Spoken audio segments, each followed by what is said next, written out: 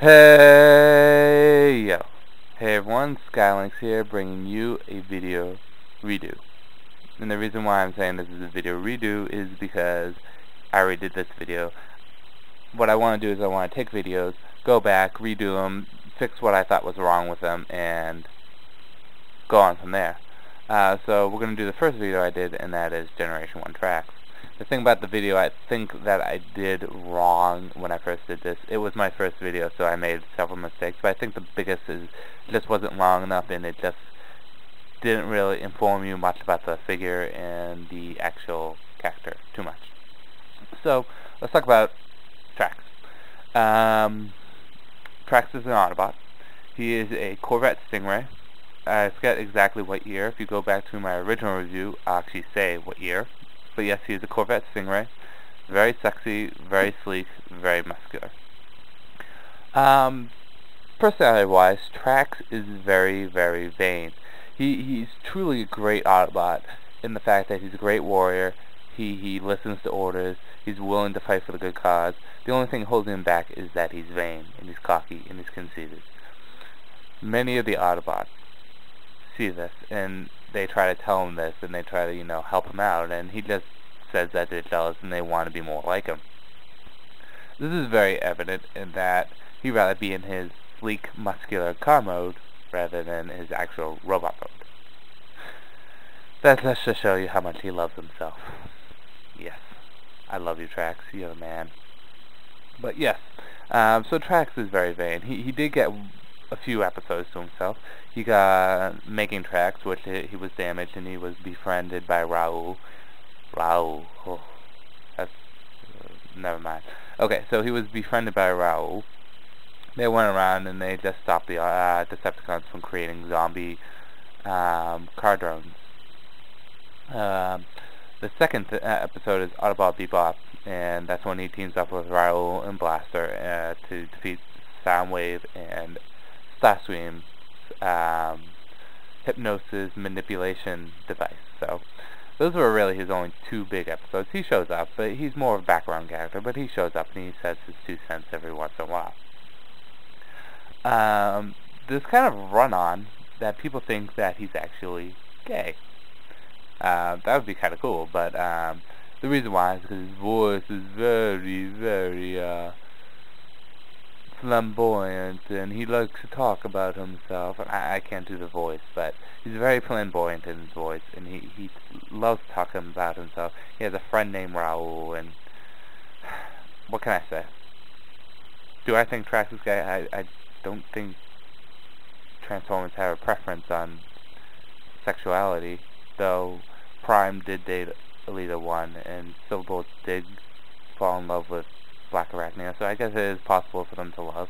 So maybe he does have preference towards sexuality. I think the one thing that you guys have to understand is whether he's gay or straight, the only person Tracks is in love with is himself. So, there you go. Um, there's one little thing that Tracks has. Okay, let's just look at the car mode. The car mode is very beautiful, it's very sexy, it's very sleek. I love the car mode. I'm not much into blue cars, but I, I do think this color scheme works out. Putting the stickers on is a complete bitch because this one flame sticker is actually two stickers. And you have to line them up correctly because that comes as like. Um, so his stickers can be kind of bitchy to put on, but overall it's not that hard. You just have to have a steady hand like me.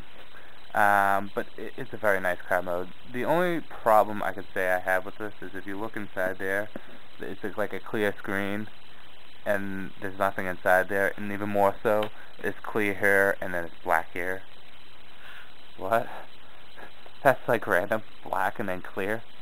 But whatever. Um, so Tracks actually has three modes. Whether or not he's a triple changer is up to debate. But his second mode is, if you loosen up the back here, take out this section here, and take out this section here, and then flip these wings out, and then get his back laser cannon and snap that bad boy on there. And his jet mode, which basically looks like his car mode with wings and huge rocket launches. I really don't care about this mode. it's a nice little add-on, but it's nothing special. But as we're here, we might as well transform him. Uh, we're halfway through. From here, just take this section here, bring it down like that, spin it around. The feet are here, just grab onto the headlights and bring them down like so. There we go. We're doing good. And bring these hands down. Bring this back head part right there. And bring the wings up. You can adjust his arms accordingly. Posability. He doesn't have much posability um, or articulation. His legs don't move at all. They're, they're, they're there, like most of the Generation 1 figures. His arms, though, can move in and out here, up and down, and they can bend at the elbow. So that's pretty nice. It allows you to do some posing. Um, his gun is massively huge, and he has such a small hand, so that it actually has to slide on. He doesn't actually hold it. It just slides around on his hand. So let's take an overall look at him. Okay. Um, I think his car mode looks better. I love Tracks. He's one of my favorite of the car um, bots. I think Jazz is the only one I like more than him. But I, I honestly think his car mode looks better than his robot mode. not saying his robot mode looks bad. I think the only thing I have to say about that I don't like is it's very skinny. That and this rocket launcher section is very, very loose. But yeah. Um, let's talk about Jazz's, uh, not Jazz's, wow. Let's talk about Tracks weapons in this. Here's his, hold on one sec, let me just prop him up like that. And, okay, let's talk about his um, weapons. He does have his ion cannon and his laser cannon, which is his rifle. And he has these missile launchers up here, which can serve as two things. Uh, they can either uh, serve as heat-seeking missiles, or they can actually create black matter, or a um, a matter similar to the black matter. And what it does, and this was in an episode when I believe there was time portals and pirates came in, he jumped on and he shot black matter out, which blinds them and paralyzes them, allowing him to um, take them out. So it, it basically confuses and blinds enemies. So he just shoots those out. Uh, traction car mode, I forgot to say this, but I believe I said it in my first review, might as well say it now. Um, he can reach up to speeds of 280 miles per hour without even breaking a freaking sweat. So he, he's one of the fastest the Autobots. Um, so yeah, that's about all you can say about Tracks. The figure-wise, I think the missiles don't fire. I don't think any of the commemorative reissues missiles fire, but the color scheme works well. Um, the car mode looks beautiful. The second flight mode, it's okay. I'm not going to complain about it. it. It's a nice little add-on. Not like it's taking anything away from the figure. And the robot mode looks nice.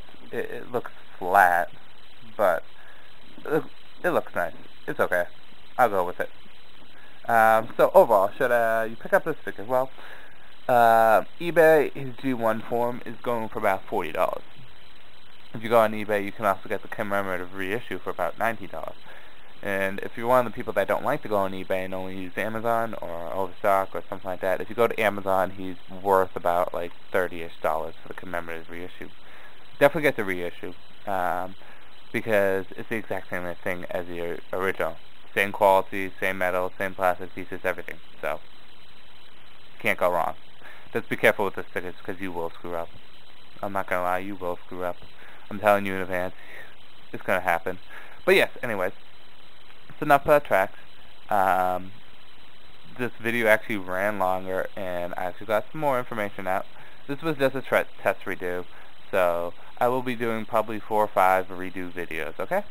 So anyways, this is Skylinks. Oh, by the way, I'm going to post them all out within like one day because it's not like it's worth spending a week doing these redos. I'll just take them and post them all in one day.